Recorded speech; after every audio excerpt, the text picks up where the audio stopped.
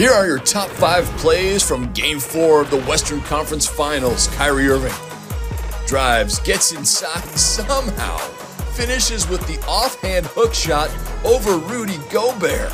Kyrie, the big time finish over the Defensive Player of the Year. At four, it's Kyrie again, this time throwing it up.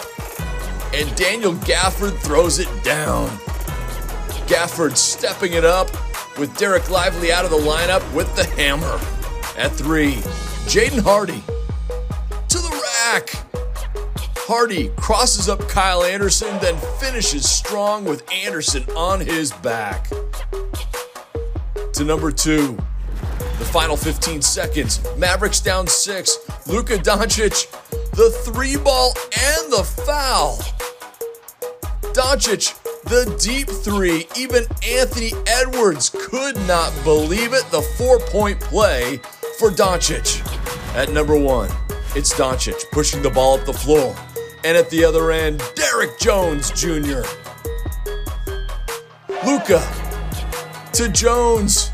The alley oop. There's your number one play of the night.